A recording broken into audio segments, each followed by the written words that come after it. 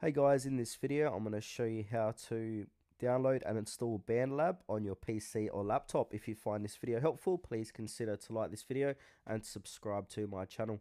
In saying that, let's just jump straight into the video. Okay, so what we first need to do is head on over to bandlab.com and from here make sure to sign in or create an account. I've already signed in and created an account. Now, once you've done that, we want to go ahead and click on the where it says BandLab, click on the four dots here, and then head into Studio. So where it says Create, click onto Studio. And now, once you're inside here, I'm just going to click out of that. Now, now once you're inside your studio, on the top right hand corner of the page here, we've got bandlab.com forward slash studio. On the right of that, we've got an option to say that we can, if I hover on my mouse over there, install BandLab. So go ahead and click on install BandLab then it'll say install app BandLab from bandlab.com. Then install, click on install.